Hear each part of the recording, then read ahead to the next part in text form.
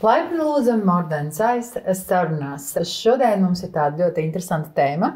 Tad savā ziņā arī kutelīga tēma. Šodien mēs runāsim par partnerattiecībām. Un, kā Zane lūdza pieteikt, ragana ar stāžu. Nē, ar diplomu. ar diplomu. Ragana ar diplomu, jeb Zane, kas ir arī māksliniece televīzijā, seriāla mājā. Strādā vai ne? Arī seriāli. Un Ilze, kas ir modes mākslinieca un arī pasniedzēja, vai ne? Pareizi. Jā, bet šobrīd stilisti vairāk, nu, ja par naudas pelnīšanu iet runa. Jā, bet mēs par naudu parunāsim šodien. Jautājums Zana tev. Nu, nu. Kāda ir loma partnerattiecībām tavā dzīvē? Nu, ja mēs tā pavisam godīgi, tad šobrīd man nav partneru attiecību. Man ir tikai darba attiecības, ģimenes attiecības, bet tādas, ko mēs saucam par vīrieti, sieviete, man nav. Un nozīme kāda? Tev Nozīme, Nav? Cik ļoti liela nozīme tev ir? Tad, kad viņas ir bijušas, tad acīm redzot, viņas ir bijušas vajadzīgas. Bet tagad man tādas nepieciešamības nav. Ilze, kāda ir tā loma partnerattiecībām tavā dzīvē? Man viņas ir, man viņas ir nepieciešamas, un es daru pietiekami daudz arī to, kas man nepatīk, lai viņas man būtu. Bet es priecājos, ka te esi tu, jo man likās, ka man būs jārunā, un tu kaut kā ka varbūt būs vīrietis otrs, ja, kas pret attiecībām stāstīs. Un tad man liekas, nu jā, vīriešiem tas ir savādāk. Jo tu saki, man nevajag, un man arī uh, pusi no mēneša. Nevajag viņas. Un sievietes to zina, kā ir, ka tev nevajag. Vīrietim ar to nevajag ir daudz grūtāk partnerattiecībās. Tā kā reizēm man nevajag, bet man viņas ir. 14 gadus. Un tev? Man ā, partnerattiecība nav. Es laikam vairs neticu sev partnerattiecībās. Sev. Jā, Nu, ku- ku- Kur tad? Oho. Ku- Kāpēc tu? Mēs jau visu varam. Tur viņiem, viņiem tur var ticēt, var neticēt. Kā Nē, es vienkārši domāju, ka es esmu mēģinājis, man nav izdevies, un man acīm redzot, uh, es nemāku veidot Lūk, partnerattiecības. tas ir tas, ko es tev varu pateikt. Es arī nemāku, un es vienmēr priecājos par tiem, pa, es patiešām priecājos. Es arī. Un es nepostulēju, ja man nav attiecība, tad lai visiem pārējiem arī iet viss garām un, un šķērsām un greizi, un lai visi šķirās. Nē, tas tā nav. Ja ir foršas attiecības, un, un ja ir 14 un, un nezinu cik gadus kopā, un man liekas, tas, kad vecumdienās iet uh, rociņā sadūšies, es patiešām varētu arī apraudāties. Man tāpat kā tev, viņas ir bijušas, un es laikam arī, nu, 4, 5, 6 gadi, tas ir, vot, vot, nu, Viss. Nu, tur ir dažādi iemesli. Es arī laikam es nemāku noturēt, es nemāku šo te nu, Spēlīt, jā. spēlīti. Un man liekas, ka, nu, ka tur ir jābūt diviem, un, un, un ja otram, ja tu Un, ja nesatiec diviem, pareizo Jā. cilvēku, ar ko arī nu, tā kā, Jā. tur viss notiek, tad arī nav. Un, nu, ja nav, tad nav. Jā, bet par cik mēs esam visi trīs sievietes, un atkal, atkal gribās teikt to, ka nu, man apkārt arī puse draudzenēm ir vai ne, vīris, draugs pusē nav. Un sievietes var būt ļoti laimīgas vienas. Vientuļie vīrieši reti ir harmoniski. Tā eh, jaunībā, jā, bet tad, kad tev ir ā, 40 plus un tu esi viens vīrietis, tas skats ir daudz žēlīgāks. Sievietes viens ir kolosāls foršas, dzīvo ar jaudu. Bet tas ir, par, tas man liekas, ka tu nevari dalīt eh, dzimumos, tas ir par pašpietiekamību cilvēkam. Nu, vispār. sievietes ir pašpietiekamākas. Jā, ja tu vari, ja tev nav garlaicīgi, un, un man liekas, ka arī tas, kad. Nu, kāpēc tu vispār esi attiecībās? Tikai tāpēc, ka viņš tev var sanitāro mēslu saremontēt, ka viņš tev var gleznu pielikt. Ja, tad es Ja viņi vēl pateikšu, to darītu. Ja viņi to māca, es, piemēram, varu to, man darbs eh, to piespiež, es to pati visu varu izdarīt. Un, eh, vai tāpēc tev vajag vīrietis, vai tu draudzenēm pateiktu, a man ir. Nu, vat kāpēc šīs Nu, Tad attiecības mēs pienākam pie tā, kā saka, nākamā jautājuma. Tad kāda, jūsuprāt, ir attiecība formula? Veiksmīga attiecība. Nu, formula. katrai cita, bet es gribu atbildēt uz tavu jautājumu, kāpēc vajag. Jo es jau arī mazliet domāju, braucot ja, pie jums. Un tomēr man nākas atzīt, es varu viena būt laimīga, jo es esmu diezgan liela egoiste un protu sev mīlēt. Un, bet, ja es esmu priecīga, divi tā prieks ir dubultā. Nē, tas, protams. Un tā ir, tā, ir- tas ir vienīgais iemesls attiecībām. Formula, ja tu saki, mana formula, mana personīgā, ir tā, ka tu dod brīvību, Un nevis tur, kā jūs teicāt, tur kaut kādas spēles spēlē vai ko, bet man tā formula ir tāda, ka tu tā kā atlaidi, jo ir visdažādi brīži, un nevis notur, bet atlaidi. Un tad tu tā, es pat negribu vārdu teikt, piedod, jo man ir daudz lietas, ko es nevaru piedot, bet tu viņām tā kā, kā pāri, un tad ir grūti. Un tad tu atkal attopies kaut kādā labākā vietā. Bet tas nav garants, ka tas Jā, nu, ieilgs. bet, bet es tagad, es tagad bišķiņu oponēšu, un tagad ir tā. Ok, tu pievēr acis uz kaut ko, uh, tu piedod, bet vai tur nav plāns ledus starp to, ka, ja tu sāc pievērt acis, tad, tad tev ar vien vairāk paliek viena alga. Saproti? Jā, tad, es saprotu, ko tu saki, bet atkal. Nu, nedrīkst dzīvot kaut kādā reklāmiskā, zin, tādā, ka tam cilvēkam visu laiku ir jābūt labam. Ja kādā brīdī tev ir viņam jāpiedod, "Ē, tas vairs nav. Nu, viņš vairs nav mans sapņu vīrietis. Reklāmā taču viņi visi ir forši. Viņš ir parasts cilvēks. Tu reizēm pat arī rīkojies slikti, uzvedies slikti, un tu ceri, ka tev draugi piedos, ka tu viņus aizmirsti, vai vecāki, un tu ceri, ka tas draugs Tavējais tev arī piedos, ka tu šajā dienā esi slikts cilvēks. Un varbūt viņš vilsies, bet tad tu ceri, ka viņš kāps tam pāri vai nepiedos, bet tik un tā paliks ar tevi kopā, dēļ tiem foršajiem brīžiem. nē, nē, Jo ok, visu jā. laiku jau ideāls neviens nevar būt. Man tā liekas, ka ļoti daudz kaut kā ir tā kā ieprogrammējuši sevi, ka ir tagad mēs mūsu gadsimtā vai nu labi dzīvojam, vai nu spridzinām visu augšā. Taču var būt tā, ka um, tu pat tā kā, kā tu saki, tu piedod. Un, Reizēm pat nepiedod, bet pārkāp. ā, tu- Es, piemēram, uzskatu, ka esmu pārāk saprotoša. Nu, tu esi super pārāk saprotoša. un Tāpēc uh, es esmu tur, kur es esmu, savā ziņā. Nu, uh, es negribētu Jā, bet- skaļi teikt, bet es esmu reāli vīlusies. un Tāpēc man liekas, ka man viņas neizdevās. Un man viņas neizdevās, tāpēc, ka es nevis saku, viņš bija tur tāds, vai viņš tur vainīgs, viņš nedarīja tā, viņš man izdarīja to un to tālāk. Es vienmēr esmu mēģinājis analizēt, kas ir tas, ko varbūt es, nu jā, varbūt es gribēju būt pārāk laba. Un tā es notrādāk neizrādīju savu kaut kādu tur, mm, ka man nepatīk. Paldies Dievam, mūsu gadsimtam, ka mēs varam nedzīvot kopā, ka katram ir izvēle. Ka kaut kādā mūsu mammu laikā patīk, nepatīk mocītos. Nē, Jā, arī jā. tad bija izvēle. Nu, Arī tad nē, bija skarbāka, skarbāka. Dzīvoja pa jā. 20, svinēja sudrabkāzes, un te, kas atzērās, tad teica, ārpats, kā es viņus iesnēju. Jā, un tad tu vari redzēt vecus pārus, kuri, kā tu saki, sadosies rokā viens otram, kaut vai pie galda uzsmaidīs. Kaut vai vecs cilvēks vīrs tur pateiks, tu vīnu dzērsi. Un tu vari redzēt arī divus vecus pupēšus, kas sēž blakā. Nu, Un tikai tāpēc, ka ko- jā, un tikai. Tad, principā, labāk ir Protams. nebūt partnerattiecībās. Ja. Nē, jā, nē nu Ah? kā, kā, kur tu nokļūsi? Un ne katrs cilvēks ir īstais. Bet, ja tu jūti, ka tur ir tā stīga un tu esi redzīgs, un, protams, abiem vajag gribēt būt Nu, partnerattiecībās. redz. Es, protams, jo es nemūžam nebūtu ar savu vīru 14 Var gadus. gribēt, bet ar citu sievieti. Jā, ne, bet zini, kā ir tad, kad, eh, protams, ir dažādi cilvēki, vai ne? Bet, ja jau tu esi tāds redzīgs un vīrietis nu, grib ģimeni, nu, ja tu vecāks paliec, jo tu zini, ja tu gribi karjeru, tu ieguldīsi, tev būs. Ja tu gribi to ģimeni, es pat par bērnu viņi izaug, bet nu, to kopā būšanu, nu, ir jāieguldās. Nu, ļoti gribēs, ieguldīsies, negribēs. Ka- Ne. Vārds ieguldīties. Ieguldīties ir tāds.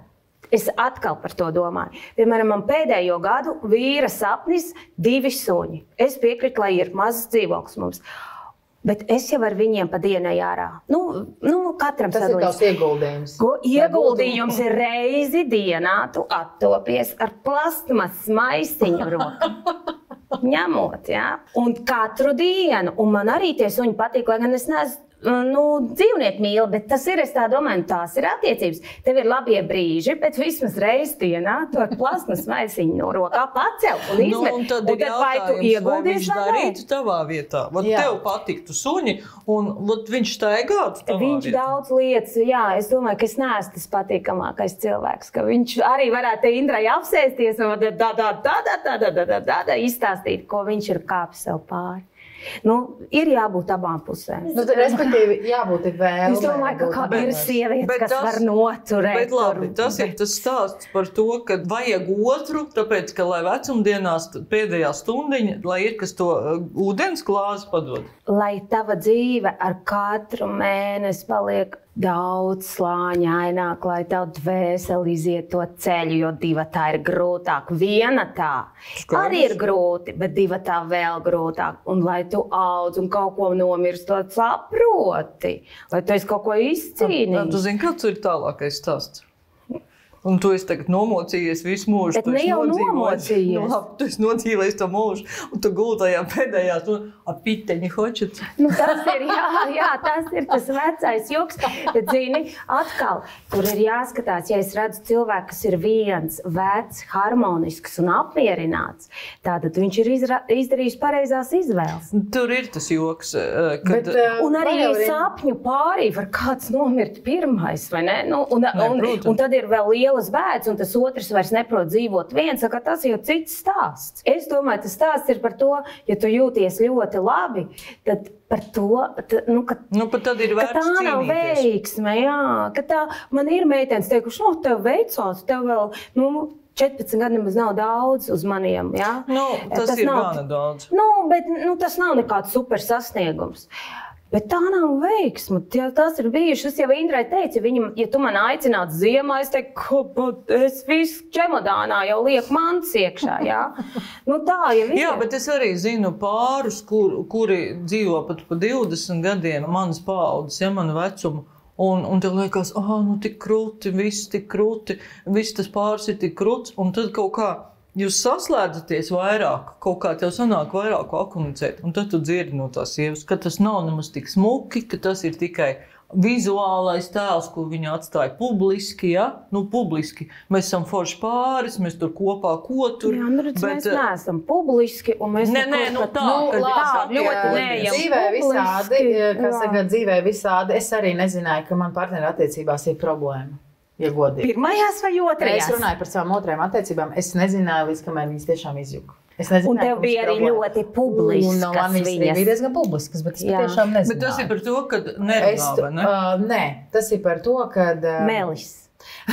nu, viņš ir ļauns melis. Nē, nu, Nē, tas ir lietas īstajos kad vārdos. Iespējams, uh, mana dzīve pašai, kā Indrai, ir tik ļoti piepildīta ar citādākām lietām, ka es varbūt esmu palaidusi garām. Nu, nebija vērīga.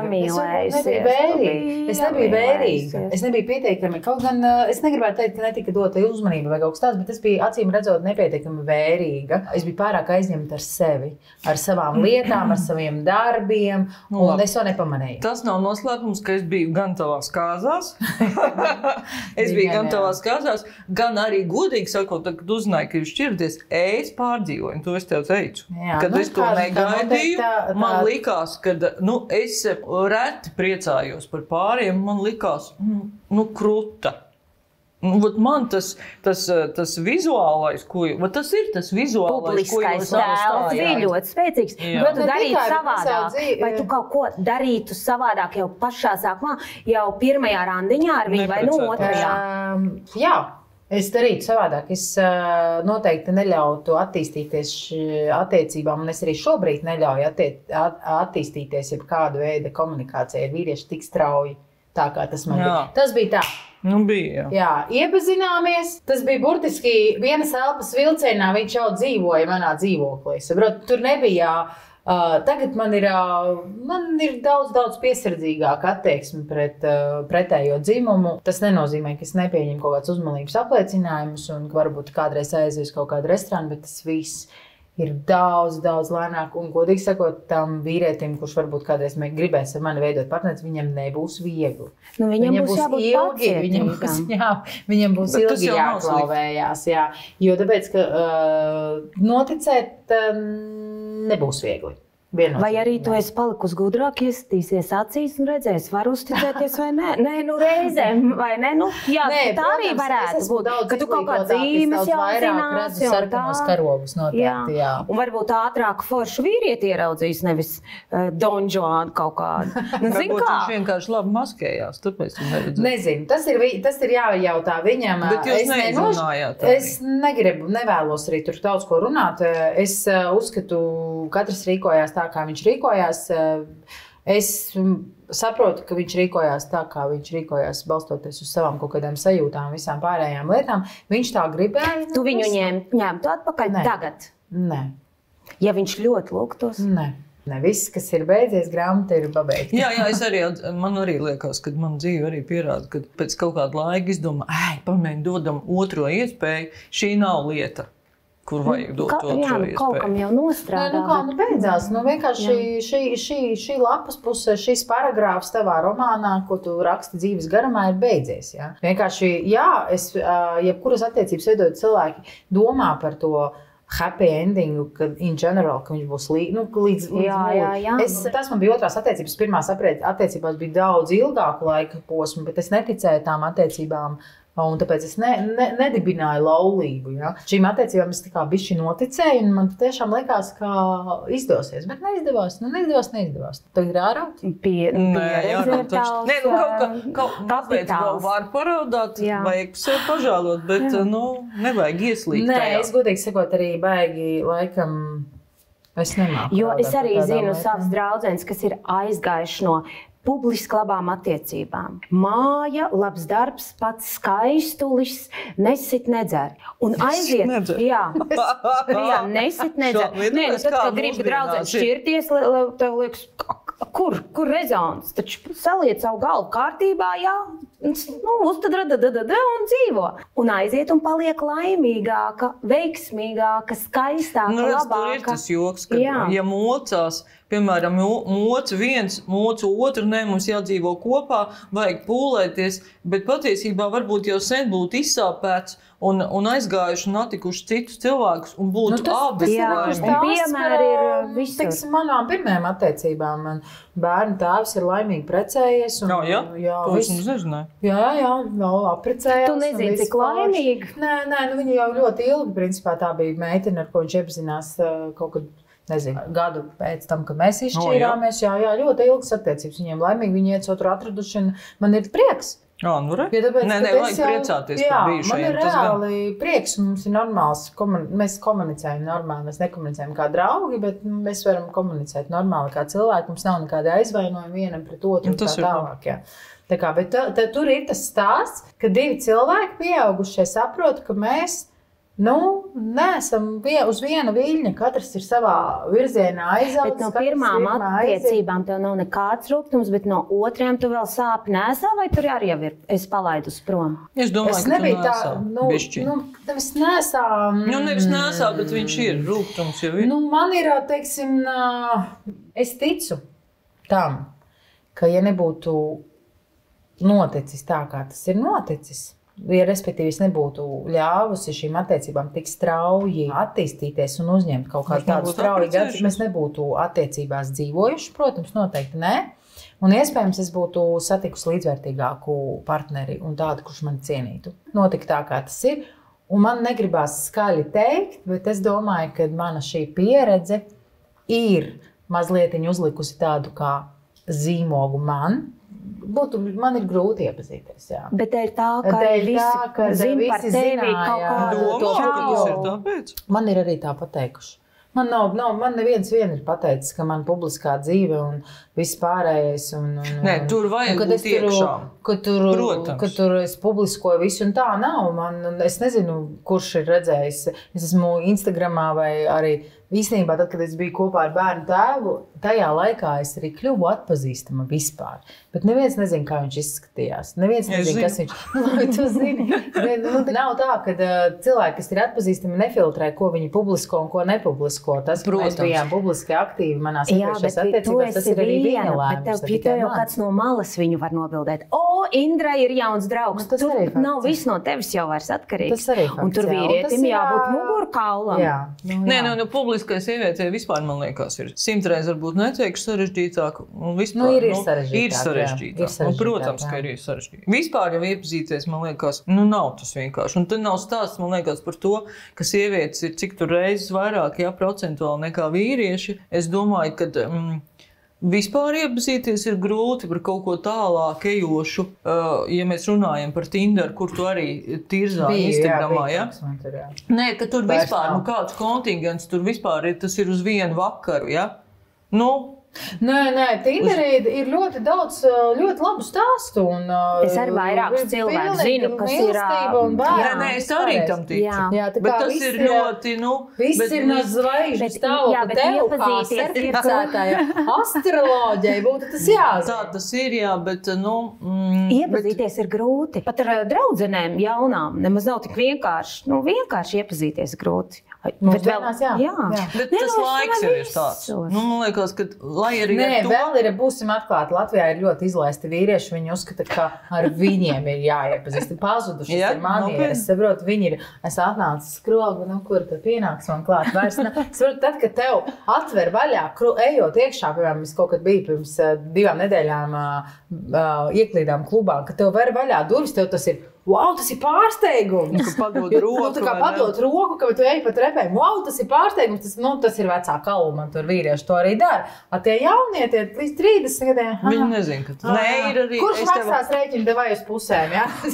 Labi, es tev arī- vairs tajā man ir- paudzē. Ma, ma, manā lokā ir paziņas.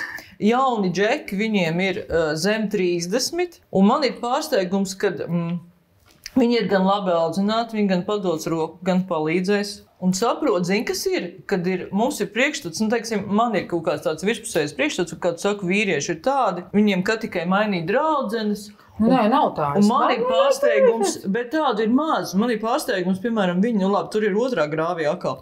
Ja es tagad pārgulēšu, man ar viņu jāprecās. Nu, tā, kur, Un, bet viņi nē, un tāpēc viņi neskrāja turp šurp, saproti? cik gadīgi vīrieši Nu, tādā? 30. Kas nav Ah, maz. okay. Nē, bet viss ir Es kārtībā. tā kā cenšos Es arī saviem draugiem. Nē, nē, jūs nesaprātāt. Nevis tā, ka bet viņi Ā, nu, nav tā kā tas aptuveni liderīgais. tā, ka, uh, ja viņš satiks jau sievieti, Tad uzreiz jā, tad uzreiz, nopietno. tad uzreiz Nē, nopietni. Sievietes tāpēc to sagaida. Sievietes to Nē, sagaida. viņi, ne, viņi Viņi tur nesteidz. nečakarēsies ar Nesteidz, vienas nakts tas, kad, romāniem. uh, tas, ka, jā, Ā, un tie džeki nečakarēsies, Jā, nečakarēsies. Un man tas liekas, Forši o, nečakarējās. Nē, nu, Es 20 gados saprotu. izčakarējās 30 jau slinkums. nē, Tad, kad bet iet ar Nē, čemodānu viņi tādi nekad nav bijuši. Man bija tāds pārsteigums, ka vot, var 30 gadnieki būt, ka viņi nopietni šīm lietām pieiet. Nu, droši vien. Atsūtiet telefonu numurus. Es tev Mums atsūtīšu, ir ļoti daudz Bet mēs neesam. Bet mēs ne, jā, un es tagad viņiem esmu tā kā mamma, un es saku, nu, viņi sameklē mums sievas. Mums neiet viegli. O, Mums ir- vajag Bet, bet, bet tur nav tik vienkārši. Es esmu piedāvājis un nestrādā. Mēs vispār aizbīdījāmies. uz Bet, ja tu esi astroloģis, tu varbūt vari bišķi-. Nē, nē, viņi nestrādā. Bet tu pie- vismaz vari tā pielikt, ka tur varētu Es varu lai- kaut ko nu, pielikt, nu, tā jā. kā, gal- lai galīgi nav tur. Nu, jā, jā. Labi, bet uh, par to veismīgu attiecību formulu ir kaut kādi, kas ko dara attiecībās. Kas ko dara? Jā. Tu par attiecībās? viskastu un veļas mazgāšanu. Jā. Un trauku mazgāšanu. Tie sadalījumi var būt ļoti dažādi, bet es domāju, pat ja tu īrētu, un tu esi īrējusi dzīvokli jaunībā ar meiteni, nu ar draugu, neviļus sanāk arī kas ko dara. Un, ja nav, tad ir totāls haoss. Nu, tas ir visās. Es neesmu īrējis, es ar Ar meitu dzīvoju. bērniem, kad dzīvo kopā, taču arī Mēs kas tikai tāpēc dara. izšķīrāmies ar bērnu, tāpēc, ka es vairs nevaru izturēt. Jā. Es nopirku, viņi tagad viņi lamāsies, viņi skatīsies. Es nopirku speciāli izlietni šitādu te. Kas ir vāns īstenībā, kur trauks nevar krāt. Ai. Mēs pamanījāmies arī tur. Jā, nu, tā- tāpēc tas jau ir visur. Ir, mums ir Bet, kas, sad, ko bet tā dara. taču ir sadzīve nobeidz attiecības. Nē. Ja vi- ir harmonisks, kas ko Tas dara, ir ideālais. ideālais Nē, bet kā, bet tu sieviete. taču dzīvo viena. Nu, tev arī ir lietas, kas tev ir jāizdara. Vai tas nobeidz tavu dzīvi? Nē, Tava man- ikdienas rola, tev tā kafīņa ir arī. jautājums par to, ka, piemēram, vienam ar trauku kaudzi netraucēt, Jā. un otru besī. Jā, un man, eh, piemēram, ja es, eh, mums nav trauku mašīna, un viņam ļoti nepatīk netīri trauki izlietnē. Un, protams, ka ir dienas, ka viņi tur ir un es apstos. Nu jā, nu ir. Nu, ir nu, jāpieņem, nu, tu esi kopā. Tā, savas meitas drēbes mazgā? nomestā zemē. Nu, vai ja ļoti ilgi nogaida, viņam pievasīja, viņš mazgā. Ok. Nu, visādi dzīvē. Bet, zini, mēs kaut kā bērnu, jo man arī ir viena, nu, tīna. Tas, nu, kā rātīgi, tā kā atnāk tā soma aiziet, kurpes aiziet. Kaut kā bērniem mēs tā kā tendē, nu, kaut kā tu to somu iemeta istabā. Nu, kaut kā to aiz viņiem tā kā pievāc. Līdz kaut kādam, es tā domāju, cik ilgi es pievākšu, nu, 13 gadi. Un tāpat toreiz tā ir. Kaut ko pievāc cerībā, ka viņš aiz tevis pievāks. Tur jau Ja, nav nu atšķirības. ideālais Nu, es variants. saku. Tāds ideālais ir variants. ideālais Jā, arī nebija tāpēc, ideālais tāpēc variants. kārtībā. Viņa ir atradusi turējusies līdz pēdējiem. Līdz te- Jo bija ir tā, ka viņš bļauj virsū, es bļauju virsū. Nu, labi, mēs zinām, ka mums ir tāda rakstura, mēs esam auni. Kā cits varbūt tur, pusmutīgi pateiks kaut ko tur. Jā, bet eh, nu, auni mēdz būt tādi, kas un skaļāk, uz, vai ne? uz, uz ragiem ir jau desmit durvis. Jā, Uzmācīts. jā. Labi, nākošā lieta - brīvība partnerattiecībās. O, o. Nekādā gadījumā. Nu, es esmu cita paudze. Tas viss tas ir. Bē... Nu, brīvība ir, kad e, viņš ietver pārgulēt ar citām arī. Jā. Tas ir jauniešiem ir pat īpašs tāds vārds, kad jūs tā kā esat kopā, bet Friends viņš. with benefits. Vo, jā, lūk, jā. Mīl, Bet, bet tas jau arī ir tās Tas ir eh, be- krieviski saucās gestivoja braki. Ja? Labi, okay, bet tu, piemēram, ja tev partnerattiecībās vīrs nokrāptu, piedotu, Īstenībā, ja kaut kas tāds ir bijis. Uh, Ukrainā pirms septiņiem gadiem es Astoņiem. negribu zināt. zināt, jā. Nu, tu pie, piedotu? Es man būtu grūti piedot. Es neesmu pieķērusi. Nu, tad, kad Jā. Es biju laulībās, es, eh, nu, es nepieķēru, nezināju. Jā. Pēc tam uzzināju. Nē, nē. Nē, nē. Pēc tam bija cits Ā, attiecības, Nepieķēru, nezināju. Respektīvi, ja nav Jā. pieķers, nezinu. jā, Bet, ok. ja to, Bet ko tu es nezini, es domāju- piekrītu tam, ko tu Nē, es nezini. es Tas domāju, neeksistē. man- Manas es vērtības vienkārši, es arī, manas vērtības Es ir tā, nu, nē, tāda bija mūsu vienošanās uzticība. es Bet tad jau nepiedodu. viss Durvis ir sā- tur. Bet tajā brīdī arī viss sabrūk. Nu, viss, Nu, jā. tajā brīdī arī Jā, viss bet ir sabrūk. taču tas tādi ir- pāri, kas, un es zinu tādus pārus. Bet tad kas- viņiem tas ir ok. Tad viņiem tas ir ok. Nu, tā arī, savā starpā ir eh, jā, bet tad jau tas ir, teiksim, tā, Varbūt. nav tradicionāla laulība. Tā ir kaut kāda zviedru vai dāņu vai variants. gausām Nē, nē, nē, nē. Uh, ir, ir Kad partner- abi krāp, viens Nē, otru nu, krāp. Ir bijuši, es, esmu, Jā. es zinu, man ir paziņa viena, kurai vīrs nokrāpa un sieva aizgāja tieši tāpat. un Viņi ir tā kā uztaisījuši šaks un mats viens viens un dzīvo O, laimīgi. jā, es arī zinu, un dzīvo ļoti laimīgi, dzīvo. ļoti laimīgi. un Jā. Faktiski ar krāpšanas epizodi viņi tā kā apliecināja, guvas apliecinājumu sev, ka tas cilvēks, ar ko viņš ir nodzīvojis jau 20 gadus, viņam ir ļoti, ļoti svarīgs.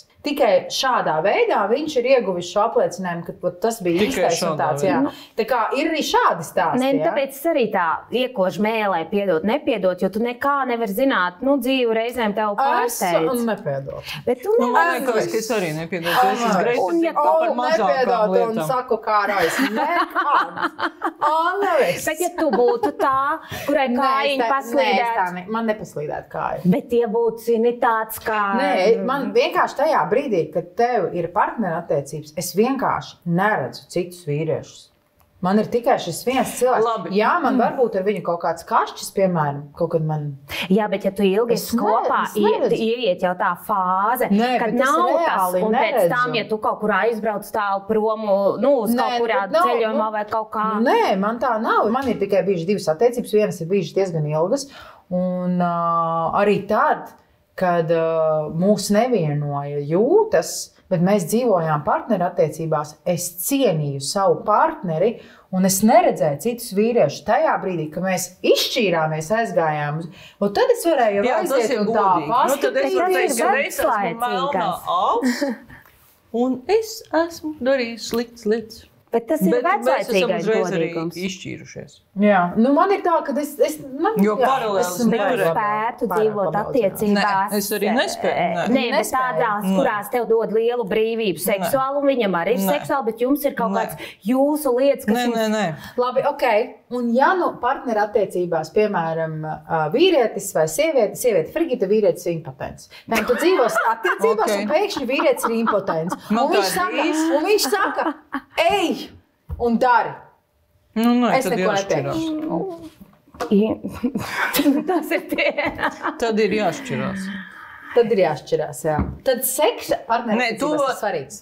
Viens no vispār, kas ir kodols. Nu, citādi jau tam nav vairs. Tas jau ir kodols. Bet jāapnīk. Nu, bet apnīk, klausies, apnīk, nu, tas jau ir par tā, tavu personību, tev Par apnīk. tavu personīgo Nu, samaitātību. Nevis Jā. samaitātība. Ko nozīmē apnīk? Protams, ka tu katru dienu ēdi ikrus, un tev piektajā dienā Nu, ne apnīk. jau piektajā dienā, nu nepārspīlēsim. Nē, es saku, vienalga, Paiet, teiksim, četri gadi. Jā, un Bet tas es esmu ir. tāds cilvēks. Jā, un tas ir visgrūtākais. Tas Nu, ir re. ļoti grūti. Tur, tur ir. Tas ir ļoti grūti. Nu, redz, Dabūt es atpakaļ to. Jā, un reizēm liekas, ka tu to nevari. Tas ir beidzies, tur ir tā kā tuksnes un viss, un tur nekad nebūs labāk. tas tā kā Jā. diēta, vajag to, to iziet, ja tur to gavēns, ko tur, ko tur nu es nespēju. Un tad kā fēniks no pelniem, bet tas, tas ir grūti. Tev liekas, ka tev kā āda jānorāda nost kā fēniksam no pelniem, jādzimst no jauna, jāsāk kaut kā tāda. Gājieni, Nu, bet jo tie vīrieši jau ir uz tādiem gājieniem. Tev jau ne. Nē, labi, labi. Nu, kas ir tie gājieni? Nu, tev viss ir izmēģināts. Nē, Kā? zeķes, staigāja pa māju, Jā. peņģāru kaut kā. Jā. Ar sakostiem zemē pati negribu, bet lai viņam stāv. E, Nē, nu, zini, kā stāv jau arī vecajās treniņš, ja tu esi, bet, ja tu taisni, ko jūs runājat, dabūt atpakaļ to, e, nu, A, to.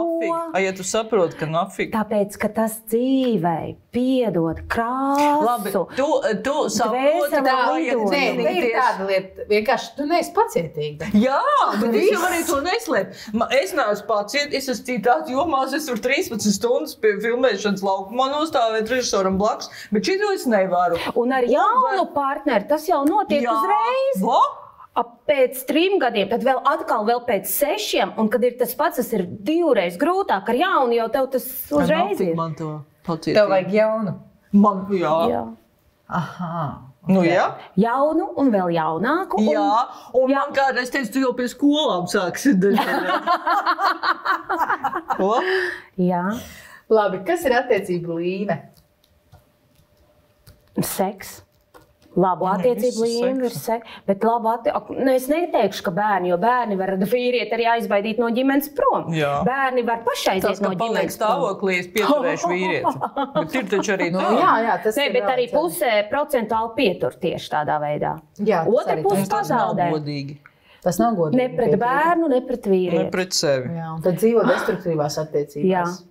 Bet es, mm, es domāju, ka tagad jau tā informācija. Bet es visu laiku domāju, piemēram, ja vīrietis nevēlas uh, veidot attiecības ar sievieti tā kā ģimeniski, ja, un tagad tā, viņam nu, jūt, ka viņai, nu, kāpēc vīrietis nedomā par izsargāšanos? Un pēkšņi sieviete paliek stāvoklī. Piemēram, Tāpēc, ka ne jau viņš dzemdēs. Nu, tas, tāpēc Nē, arī nu, nedomā. vienkārši, vīrietis jūt, ka viņam neveidojās attiecības, un ka nebūs, ka šeit nebūs, kāpēc domā, viņš vienkārši kāpēc viņš nemāca lietot prezervatīvu. Un vienkārši ir bijuši ļoti daudz stāsti. Man nesen ā, kolēģi arī iepazinās ar fantastisku džeku, un viss baigi forši. un Liekas, tūlīt Zemapziņā grib savu sēklu pazūd. iesēt un dabūt bērnu. Zemapziņā grib viņš pazūd, turpināties. un Viņš uzrādās pēc divām nedēļām, saka, zini, es atgriezos pie savas bijušās, jo viņa gaida no manis bērnu. Bet kur tu biji, ja tu jūti, ka, ka nebūs tās attiecības? Nu, kāpēc tu neesi gumiju? Nu, kā, nu, tas tā, nu, nu, tu vienkārši nevēlies ar šo Es arī sievieti tādu jūti. stāstu zinu, kad ir kopā, uh, izšķirās, un tad uzzina, ka viņi ir stāvoklī un aiziet atpakaļ. Bet vienalga pēc gadiem izšķīrās. Un es zinu Nu, stāstu, ka mīļākā ir stāvoklī, un pēc pāris mēnešiem sieva ir stāvoklī, šitāds abas es stāvoklī zinu, meitene. Jā, es domāju, ka tas ir tas, ka tu gribi turpināties. Tu gribi turpināties. Es Ne, zemapziņā, un tu nevēlies Es to nedomāju, ka viņi prezervatīvu. kaut ko domā. Nē, viņiem Nē, vienkārši zemapziņā, tad, kad tu nedomā. Viņi nedomā ar galvu. Bet... Jā, ar galvu viņu. Jā.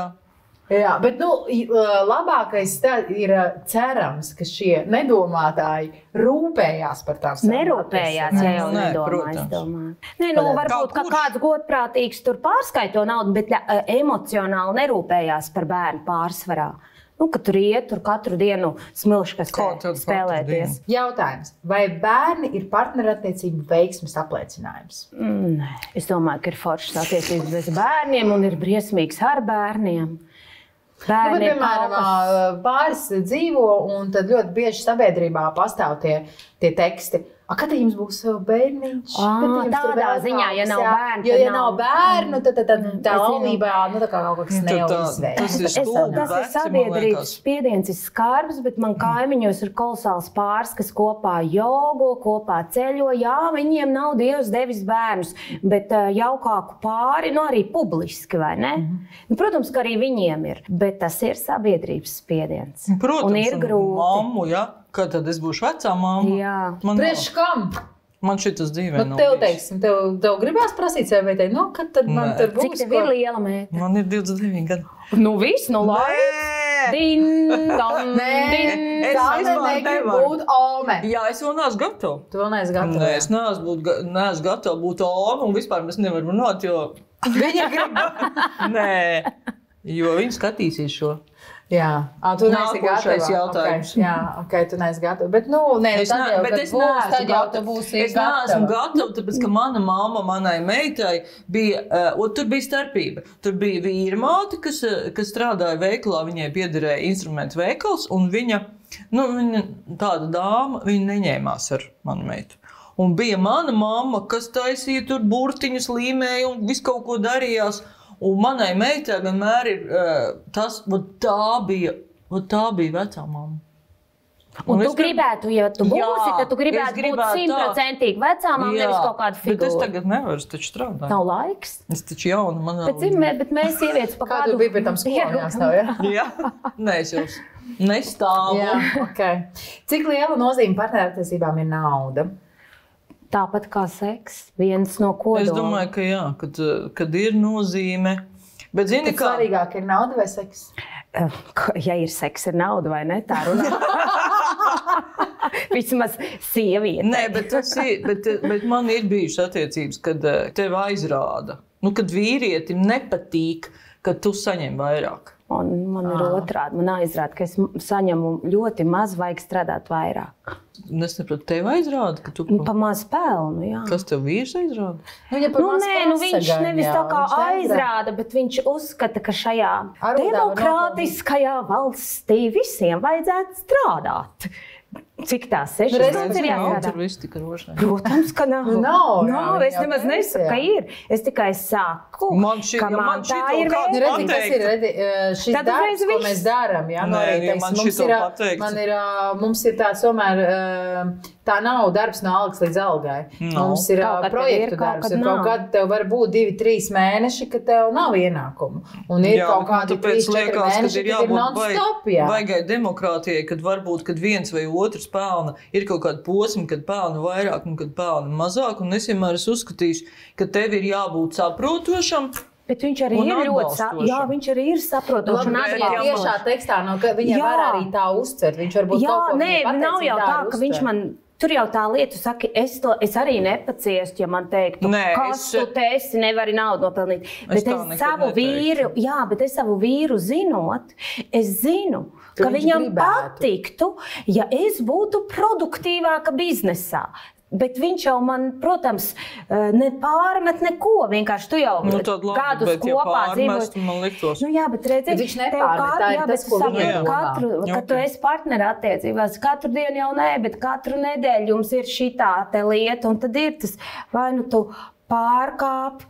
Vai nu tu saki, ka šī nepacietība tur ir? nu, redzam, tas ir tas, pie kā mēs nonākam, ka, kad, nu, kad man personīgi ir vieglāk vienai. Es pateikšu godīgi. Es ļoti daudz staigāju pa veikaliem. Un, nu, ne tāpēc, ka šok, bet man arī daļa darba vajag rekvizīts un tā tālāk. Un, uh, es ļoti bieži redzu, uh, teiksim, interjeru veikalos pārus. Un tad ir šausmīgi interesanti. Nu, viņi ir aizgājuši, viņi tātad viņi savam kopējai mājai kaut ko pirks. Dievs stāv klāt, citi lamājās, citi tur vispār viens valkās telefonā. Un tad es domāju, parasti, nu tad nafig tādas Bet attiecības. tad, kad tu ar bērnu savēju, es ar savu tīņu meitu, ka ir arī, māma, ko tu šito sūtu, nevar vilkt, baba, baba, baba.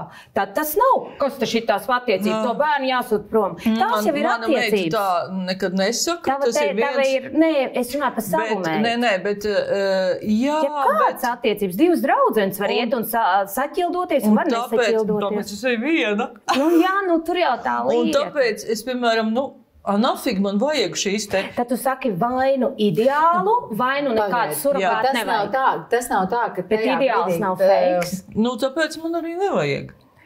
Bet varbūt tas fakes ir sabojājis tavu dzīvi. Jo tu nu, tā kā to sāki. Bet man nav bijis tā, ka es Kāpēc tev esmu. liekas, ka, te, teiksim, nu, piemēram, tie cilvēki, kas savā starpā strīdās, ka tas vienkārši var būt strīds par gaumi? Priekšspēle pirms seksa. Šito divu, nē, nē, man mīkstāk vajag. Tu muļķi nesaproti, šitos laikus taču nevarēs iztīrīt pēc tam. Lai tā būtu.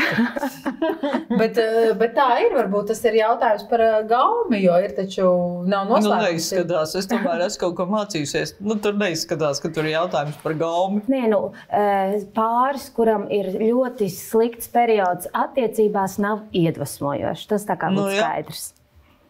Okay. Un tad Labi, kā restartēt attiecības? Man nejautāt, jo es to nemāku. man liekas, ka tikai sieviete to arī māca. Nē, nu var jau būt, ka ir vīrieši, kas tā, bet tā enerģija tā jau nāk no sievietes. Un tieši tā. Sieviešu žurnālos es esmu vismuļķīgākos padomus. Tev negribās seksu. Tas ir atšķirības starp sievieti un vīrieti.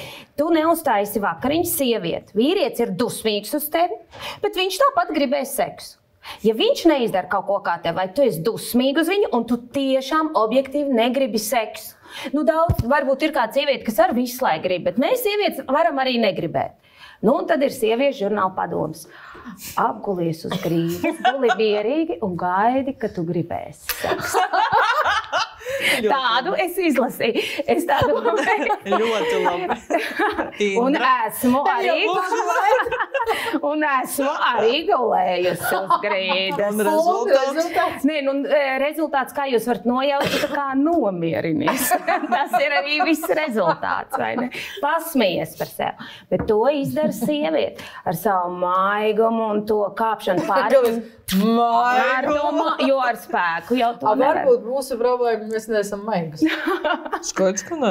nu, pārāk. Ne. Tātad sievietei jābūt maigai. Nu, tad, ja, kad tu, te, nē, tu teici, ka jā, tam jākā pāri tam, kad ir partneru attiecībās brīdis, kad ir beidzies un ir kaut kāds strīds bijis un jūs vairs neesat kopā, ir ļoti grūti tikt atpakaļ tajā punktā, kur jūs esat kopā. Šausmīgi grūti.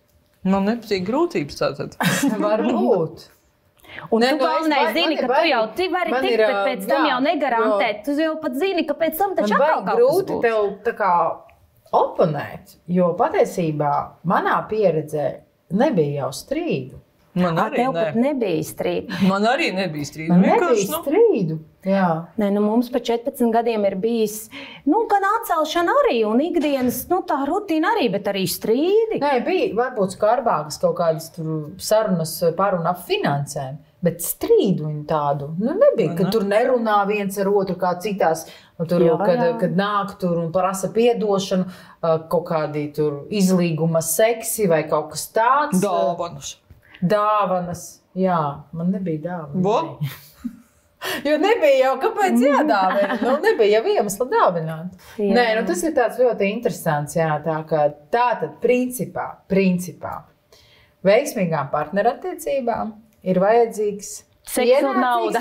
Nē, pienācīgs, pienācīgi tāds ar Abiem savu jāgrib. raksturu cilvēks, Abiem ir kuru jāgrib. nav garlaicīgi. un abi Bet tev ir garlaicīgi. Ar jebkuru cilvēku kaut kad paliek pa, pat visinteresantākais cilvēks, pat visforšākās draudzenes. Jūs aizbraucat kopā trīs dienas ar nakšņošanu, un trešajā dienā tev jau tavs foršās draudzenes jau Nevis garlaicīgi, bet piebesīgi kaut kas. Nē, nu, un tas ir ar jebkuru paliks eh, 14 gados kaut kad garlaicīgi. Nē, Nu, tas taču ir protams. nereāli. Es nu, tiešām vai nu neticu tiem gribi? pāriem, kas iet rociņās nu, visu laiku. Nu, ne. Es domāju, ka tā, tas ir fake, tā kā samākslots. Jā, es domāju, kur es skatos Instagram, ka viņi visi melo.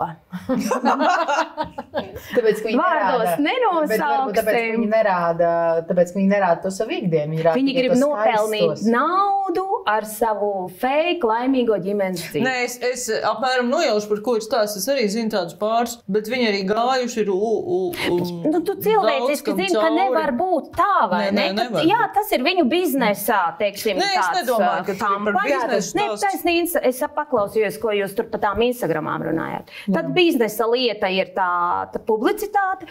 apakšā iet, cik viņi gudri viens ar otru tiek pāri problēmām.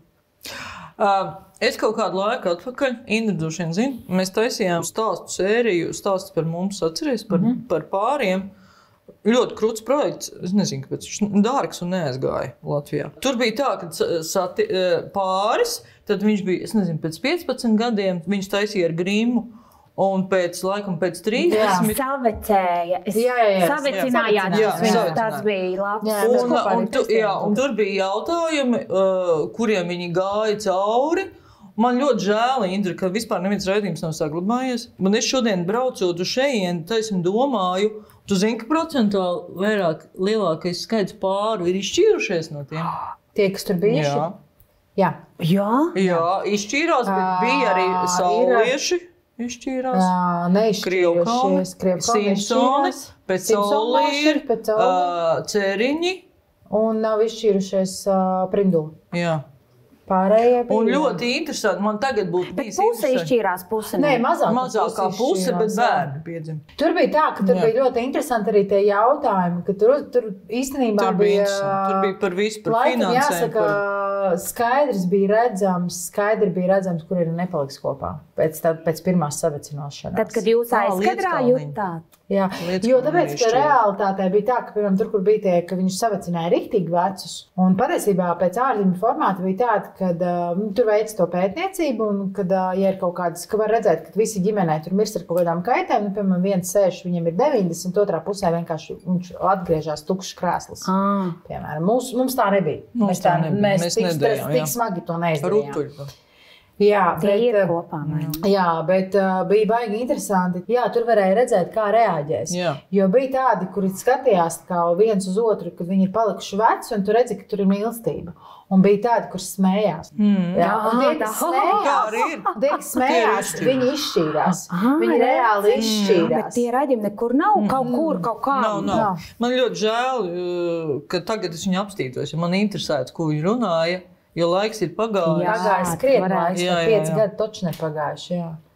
Ja, nē, tas bija, tas bija ļoti foršs raidījums. Jo palikt tur... vecākam nav vienkārši. Nav vienkārši. Nav vienkārši. Un tur tie jautājumi arī bija gan par, par bērniem, gan par kopā īpašumiem un tā tālāk. Mm -hmm. Kas ir mhm. viss tas, ko mēs runājam. Ja? Mm -hmm. Ka tas ir viss nu, ļoti svarīgi. Ai, Labi, nē, oh, jā, atgriežamies pie partnerattiecībām. Kas vēl jūsuprāt būtu nepieciešams?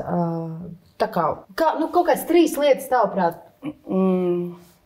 Lai partnerattiecības nu, uh, pirmkārt, tas otrs cilvēks ir jāciena, jāredz un jāciena. Jāciena. Jāredz, man patīk šis vārds. Nu, jā, jāredz, jo es saku, kāds... es, es iespējams biju nevērīga.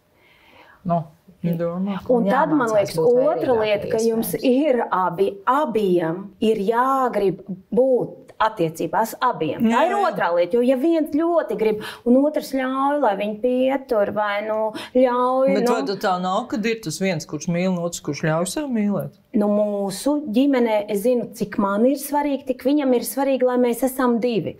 Vismaz manī ir tā sajūta. Jā, tā ir ideālā ģimene. Tā nav ideālā ģimene. Nu, Ticamā, nē, viņi kasās. Viņš tā, ir no varakļāniem, kā tur var būt ideālā ģimene. oh, Smagā ārdīlē! Mēs arī nešķirā. Nešķirās nu, viņa draugi. Arī no saknēm. Saknes man ir no Latgales. Un Indrai arī. Jā. Un trešais ir dot brīvību, lai varētu elpot, atlaist, ļaut, laist. Ne, jā, viņš grib iet. Ne, ne, tas ir viens briesmīgākais, ko. Jā, ja viņš grib. Ne, tu kontrolē savu vīrieti. Nē, nu, kon, ne, es vispār nekontrolēju. Nē, zini, kas ir tas, man ir bijuši tādi kolēģi. Es priecājos, ka parādījās jauni hobiji kaut kādi. Nē, tas ir vajadzīgs, jā, jā, jā. Bet laikam viņš grib. Jā, bet viņš grib braukt ar veidu. Dari, nu tā kā neier ierobežot. Turēciju varbūt vajadzēja braukt līdzi vairāk. Varbūt viņš gribēja, lai tu esi kontrolējošā, dominējošā ar pāta krokā. Tieši tā. Būtu tev pārāk. Nebija man tās pāta, kas nāca ar ārā. Nebija. Nebija tas žagaru saistis. nē, nē, nu vienkārši es domāju, ka es uh, audzinu puikas. Un audzināt man vajag puikas, savus dēlus, lai viņi vienkārši neiz, neizaug par kretīniem. Tas ir viens lielākais uzdevums. Jā. Mans lielākais dzīves uzdevums ir izaudzināt bērnus, lai viņi nav kretīni. Lai nebūtu tā, ka jaunās tās dāmas, kas ar viņiem tur sāk pīties, ja nesaka, nu tā vīra ne vispār nav izaudzinājusi neko un kā var šitā. tas Tā, ir tas ir Jā, bet uzdevums. 14 gados es tā esmu vairākas reizes savus domājusi. Nevēlos audzināt. Man no maniem daudzajām vīrmātēm tikai pāris, man liekas, ir bijušas foršas. kuras labi izaudzinājušas Nē, vai kuras ir cilvēku arī cilvēciski Bet vai attiekušās tu redzi, ka eh, viņas mani. Ir kaut ko izdarījuši nepareizi, ka tie vīrieši nav palikuši ilgstošās attiecībās, vai tā bija tava izvēle? Vai tu redzi, ka māte var ietekmēt dēlu tik stipri? Oi, nu es vispār nevienai nepatiku, kādām divām tikai. Viņām visām bija pirmais dēls. Nu, tas, tas arī ir diagnoze. Nu, tas ir zini, kā, nu, ko tu, lai viņi strādā, ko tu, tu ej mācies, lai viņi strādā, lai pelna nav. Man arī tāda ir bijusi. Nu, tas ir normāli. Nē. Nu, redzi, par ko mēs varam vispār Kas te tev runāt? patika tajā Alfonsā? Atceries, kaut kas taču patika sākumā. Nezinu.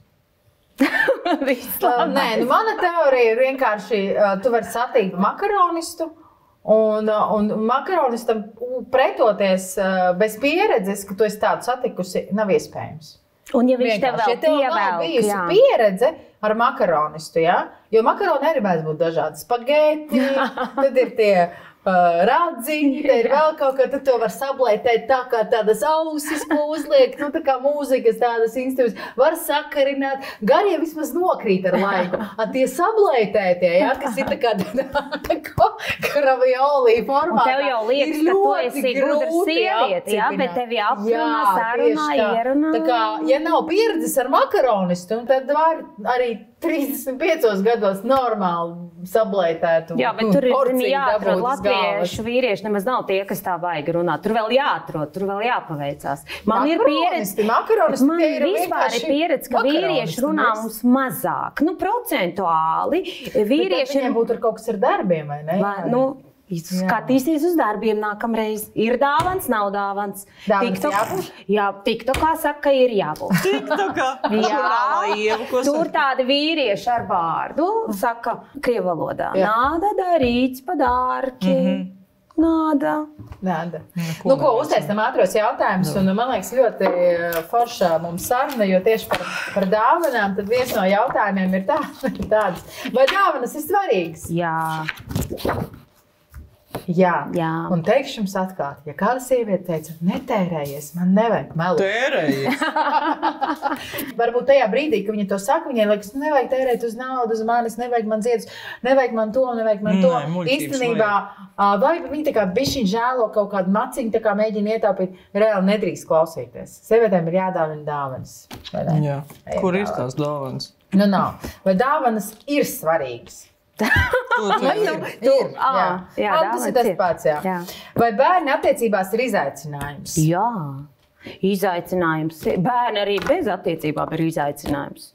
Un, ja viņu nav, tas arī ir izaicinājums. Es nezinu, vai bērni attiecībās Es ir nezinu, vai man vajag spēlēt. Tas nē, man liekas, nespēlēt. Man liekas, ka nē. Uh, Man jā, ja ir komunikācija, kaut kādas sarunas, vispār nu, bērniem ir jābūt tā kā. Bet pašsaprotam. izaicinājums, tas tev ir ar pozitīvu vai negatīvu, vai vienkārši izaicinājums. Izaicinājums, nu tā, tā ir problēma, kas ir reāla. Viņa Nu, eksistē un par viņu ir jādomā. nekad. Nē, Nē, ne problēma. problēma kā negatīvā, bet tā ir lieta, ko tu nevari. Nu, piemēram, tu varbūt netīri zeķis kādai nav izaicinājums. Nu, tu viņus var neievērot. Kādai tas ir vispār veiks. Bērni manās attiecībās ir izaicinājums, jo Nē, nu, droši vien, ka, ka tas tā Nu, ir. respektīvi, bet- ka viņi paņem kaut kādu daļu no tās. Nu, tā, tas Kā ir nu, sieviete jau tagad jūs mainās. esat tre, trīs. Protams, Un tādā jau ziņā. mainās pēc bērniem. ļoti. Kur? Visur. Nē, nu mainās. Nu kā, tad tas vīrietis un, un ir otrā. Kā vīrietis nemainās? Mazāk. Mazāk. Mazāk. Viņš jāpelna vairāk. Tātad, vai tu pārtrauc attiecības, ja pieķert otro pusi krāpšanā? Mēs jau to teicām. Jā, Jā, es saku, jā, bet jā. es saku, ka dzīve varētu man, nu, pa lielam liekas, jā, bet ir varianti. Ir vai? Ja tā ir bijusi konkrētā dzīves situācijā, Es mana esmu vaina, vienmēr esmu teikusi, ka uh, vienas puses es varētu. Es daudz esmu par to domājis īstenībā. No vienas puses, man liekas, ka emocionāla krāpšana ir trakāka nekā Jā. fiziska krāpšana. Un Un notiek kādā biežāk. kontekstā notiek šī krāpšana? Ja šī krāpšana ir piedzēros, meiteni ieraudzīju, man tā patika, kā viņa smaržoja, un turpat kaut kādā liftā mums tur bija baigais tusiņš. Es varbūt to saprastu, bet ja tā ir apzināta meklēšana, iešana, čatošana, tinderošana, sekšķatā, vēl kaut kur, vēl kaut kur. Nu, tā jau vairs jau nekvalificējās pat kā vari- tāda dzīvnieciska krāpšana. Bet Tas zini, ir jau vēl var būt? nodoms. Vēl jau Jā. var būt arī darbā, ka tev ir darba kolēģi, ar kuru tu Kuru tu emoci- mīli? Jā, Jā, un tad ir čau! Jā. Tur Tad tas ir nevajag čau. būt sarakstē, tur var Jā. pieteikt ar to, ka tu strādā pa 12 stundām kopā. Un tas, manuprāt, Ir jau arī, ir. Nu, tas arī ir. Bet, ja tev jā. kāds vīrietis darbā ļoti patīk, tu ar viņu nepārguli, bet tu katru dienu priecājies, ka tu viņu satiksi. Un tad tavam vīrietim Nu, ir jāiet tā prom no tevis. Bet tu pilnīgi priecājies. Darba kolēģis tik foršs, man viņš patīk. Tu reāli bet tev viņš patīk. Nē, patikšana ir kaut kas pavisam cits. Nu, tu E, tāda par viņu. Jau t- tāda Jā, tu domās jau ar viņu. Tu vairs nevari. Bet ja tu negribi domā- mājās Ja tu domās ar viņu, jā, un tu negribi Man mājās, nav bijis tādas pieredzes. Nu, man ir sāc, ļoti, eh, man ir ļoti grūti. nu, izlaid ārā, sāc. Es nezinu, man vispār aizņemti vīrieši vienmēr ir bijuši tabū. Tabū, Es viņus vienkārši Bet turpat neredzu. viņa aizņem, turpat nākamā dienā vairs nav Tad, kad būs brīvi pie, piezvanīt. Tad pavēlu. Tur tā kā ir jāizrok tā bedra, lai tā viņš iekrīt. Nu, nē, ka, kas tas tāds Nu, jā, kā bija? viņš jau būs Kas brīvs? tas tāds izrakt bedru? Eņģelīte paskatījās, parādījās radziņi. Ok, šis ir arī interesanti. Nē. Re? Tas nozīmē, ka. Bet to, kas nav Jā, taču tu neaizvilsi. Vai ne? Ir tēze, jā. vai ne? Divu Ok. attiecībām viss kārtībā, trešā Jā, vieta. un tam gan es ticu, ka tu tā. Nevar gājēju. noturēt, jā. Jā, nu, tu, un, ka- ja viņš ir gājējis, tad tur viena otra. Jā, Tieši tā. Un atkal to. A, Kāpēc kuram- gājēji vispār ā, precās? Nu, vai sākumā viņš vai mātei par prieku? Iemesli ir dažādi. Nu, bērns gadās. Bet, zini, sāku, Ā, es neticu, ka sākumā nebija. Man pieredze rāda, kur apkārt. Nu, tie, kuriem vienmēr ir paticis mainīt sievietes, jā, viņi apprecās tā, bet ja viņiem ir tā meklēšanās tā iekšā, kad Nu, droši vien, ka tas pierādīt, nav no lietas, ka tas ir arī 21. gadsimta problēma, kad ir pārāk daudz visi šie Brīvības, sociālie tīkli. Zini, kā es saucu šo laiku? Es šo laiku saucu par paviršības laiku. Jā, Jā.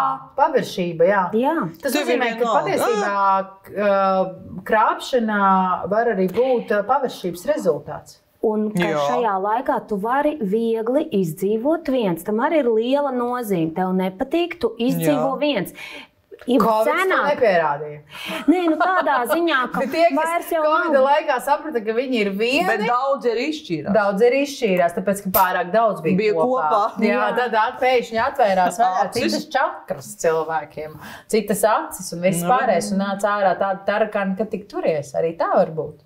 Nu, redz. Nu jā, labi, ejam tālāk. Vai mīlestība nāk caur vēdru? Nu, nē. Lai gan uh, tam ir liela nozīme. Kā, ar kādu vēdru tu jūs domājat, kāds zini, ar kā vēdru? man Ir. Latvijas restorāni baro. Respektīvi, cik liela daudz mīlestības nāk mūsu vēdienā no restorāna. Nē, vai garšo, pa, jautājums ir, vai garšo paēst, vai patīk Nē, nu, garšīgi mīlestība caur vēdru. Nu, mīlestība pret ēdienu. Nē, man liekas, ka ir. Bet mīlestība, nu, jā. Kā, ja tu labi gatavos, tu varēsi būt slikti audzināts, ļauns cilvēks un vīrietis pie tevis paliks kaut klešu dēļ. Tādā kontekstā. Nu, nē, ka, jo Nu, realitātē man vīram patīk, kad es gatavoju ēst, un viņš ir reizēm skumst, kad es neesmu attaisījis. Ja? Skumst Bet, viņš. jā, viņš skumst, viņš ir nīgrs, ja nav labs ēdiens, bet viņš arī pats var. Nu, Bet tikai dēļ laba ēdiena. Viņš nu pie manis nepalika. Tas, tas nav. Nu, tās ir tāds sens joks. Nu, labi, ok. Šobrīd man nav partnerattiecību. Tu jau kuru no viņiem ar ēdienu Nē, noturēt? Nē, nē, nē. Man šobrīd Nu, nu, ēdiens nāk caur nav. ēdienu. Es eju uz restorānu, Aha, nu un tā ir mana Bet tā ir mīlestība, ko es- mīlēšana. Ko es izbaudu. Nu, Jā, tas Labi, ir jau vispār cits klusu. Jā. Vai var mīlēt divus vīriešus vienlaicīgi? Tēvu un vīru. Jā.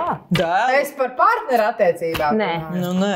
Kas vispār ir mīlestība? Varam tad sākt. Jā, nē, nu, ja ir tā viss kaut kas, viss kā te jau tu visu Tad viņus es mīli uzreiz. mīlu. Skaidrs. Es mīlu, piemēram, darbā aktierus ļoti. Jā. vīriešus. Jaunākos vairāk kā vecos. Jā. Jā. Jo Gludāk. gludākā Jā. Un patīk, ka man nav nekas. Nē, es pret cirmu man nekas nav. Jā. Labi. Es kā. Okay. Nu, bet tad es šis jautājums, šis jautājums, šis jautājums nākošajai vecuma atšķirībai ir nozīme attiecību veidošanā. Nē. Tātad nē, es arī. Jauniem var nesanākt, un veciem var te- tagad, Jā, bet te sanākt. ir tagad viens fenomens, vai jūs nesat izjutuši to, ka Latvijā tomēr, lai kā mēs teiktu, ka mēs dzīvojam demokrātiskajā sabiedrībā, sieviete ā, vecāka par vīrieti automātiski tiek likta mammītē. Jā. Un automātiski ar viņu kaut kas nav ok, Jā, jo viņa ir satiekās ir. ar jaunāku vīrieti. Taču vīrietim, ja viņš satiekās ar jaunāku, un Tas pat ar ok. tādu sievieti, kas ir pat viņa meitas vecumā, ir ok. Jā, tā ir. Tas mazinās. Tas lēnām mazinās. Varbūt. Jā, mazliet, jo, piemēram, kaimiņos mums ir tieši desmit gadu attiecības, kur sieviete ir vecāka un ļoti toleranti. Tas mazinās. Cik vecāka? Jā. Desmit gadus. Cik viņiem? Nu, labi, Desmit gadus cik, vecāka? Jā, bet cik viņai tagad ir? nu, tad, ja man ir, vecāka. viņai ir. Jā, arī ir desmit gadus jaunāka Nu, ne? salāst, vai ne? Jā, un es domāju, ka ir? viņai, viņai ir 40 pāri, viņiem 30 pāri. Jā, jā. Es jau varu ar jaunāku. Nu, redzi, Oh, un kā tev ē. liekas, tevi sabiedrība, tava meita tevi nosodītu? Jaunākās, Jā, es tā- domāju, ka jā. Nenosodīt. jaunākā nosodīs, sabiedrība tiešām nenosaka. Tava mamma, Man mamma vairs nav, bet, Bet bet man mamma. bet nē, zinot viņu, arī nenosodīt. Tu jūti, ka bet tas man bija draudzene, kura uh, man bija dzīvē tā, ka viņa man teica, Ai, tu besi, tu visu laiku ar tiem jaunākiem, un, be, un, un jaunāk, un jaunāk. Nosodīt. tagad viņai ir vīrs, kurš pašai ir kaut kādus 20 gadus jaunāks. Un pēc tam vēl Latvijas karma ir. Nē, viņi vienkārši no tevis uh, Iedvesmojās, jā, jā. Jā. Tā kā nav jau vairs tas. Nu, nu, tu man prasīji, vai ir attieksme. Teikšu pat tā, ka ir. ka mūsdienās, ja ir vecs vīrietis ar ļoti jaunāku meiteni, tad mūsdienās jau visi pasmaidīs un no psiholoģijas pateiks, kur viņš tur ir ieciklējies vai ko viņš tur kompensēja. Vai meitene Ka ko būs otrādi. Sievietei Nē, bet pa plecu un teiks, domāju- malacis dzīvo, vīrietim teiks, Nē, "Nu, nebūs jau neatbalstīts. Un es domāju, ka, Nē, nē, teiksim, pagaidām tam džekam mamma, piemēram, nu, tev ir vienāds vecums ar viņu mammu. Nu, jūs stādāties to Bet, priekšā. ā, kā, Nu, jā, nu, jā. Nu, piemēram, ja es tagad uh, salaistu ar uh, vīrieti, kuram ir 20 Jā, gadi, nosodījums viņa mamma ir no daudz lielāks nekā- Zini, pretējā vēl ir? gadījumā. Ir vēl tas, tev zemapziņā grauž arī tas, ka viņš jau grib bērnu, bet tu viņam viņus vairs nevarēsi. tas Un ir liels ir, faktors. un Tas ir trakāk nekā viss sabiedrība. Bet varbūt viņš pasaka. negrib bērnu. nu, kamēr Man negrib, tikmēr grib. Un, pasaka. Un tad tu saproti, ah, skaidrs, es esmu uz gadu. Un Ah, tas ok. ir sāpīgi. Tas Uzmanies. Un jauns vīrietis var 30 gados negribēt, bet 35 45 var Jo sagribēt. redz, vīrietis var vienmēr atšķirībā. Nu, mēs tagad ar daudz ilgāk Nu, varam. daudz ko varam, jā, bet vot tas ir sāpīgi. Jā, tas ir sāpīgi. Tas ir. Jā. Tātad bērni ir izaicinājums. Pasties, re, Redz, kā re, kā. Re, kā nonācām. Jā, nu, ko dāmas, es domāju, ka ļoti labs podkāsts mums sanāca. Man liekas, tas ir rīktīgi sulīgs ar daudz visādām atziņām. Un vīrieši aizkadrā veseli trīs māja ar galvām. Viņiem arī patika. Paldies jums, ka jūs esat atnākušas. Un paldies arī manam atbalstītājam, Mordens aizatbalstītājam Lotus Pharma farmācijas kompānijai no Latvijas. Un te jums ir sagatavotas dāvaniņas. Dāvaniņas. Dāvana. Es pat nezinu, Mums kas ir dāvaniņām, jā. Jā, dāvanām, jā. Vienmēr. Vienmēr, Jā. vienmēr dāvanas. Un paldies, ka jūs uh, noskatījāties šo epizodi. Es ceru, ka jums bija tikpat interesanti, cik mums. Rakstiet komentāros savas pārdomas par šo tēmu, ierosiniet citas tēmas. Un, protams, mēs priecāsimies par katru uh, īkšķīti, uh, atbalstot mūsu Mordensais kanālu. Sekojiet mums šeit un arī dzen Instagram platformā. Atā! Tā!